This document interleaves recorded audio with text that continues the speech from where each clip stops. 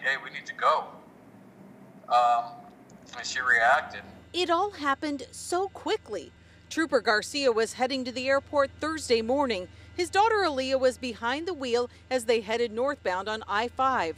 They heard a crash right behind them and turned to see a man running towards their car. He came up, he grabbed the, the door with his left hand, and he had the gun in his right hand and had it up pressed up against the window, trying to open the door. And um, he was looking straight at me. Aaliyah swerved into the shoulder and just drove. The car knocked the gun to the side. A short distance away, they merged back into traffic. Her dad was on the phone with 911.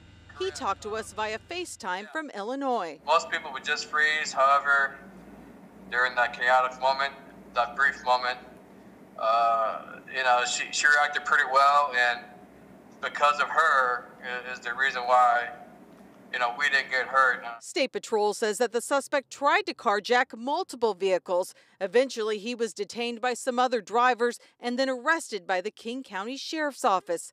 Aaliyah and her dad are grateful for those locked car doors, but still feel rattled by all of it. They believe a guardian angel helped her react so quickly instead of freezing in a moment of fear. I was definitely in fear for my life. Um, I've never felt like that before. I mean, I've been I've been personally through a lot in my past, um, but that I've never had somebody pull out a gun on me. Um, that's definitely not exactly a thing I would want to relive. Amy Moreno, King 5 News.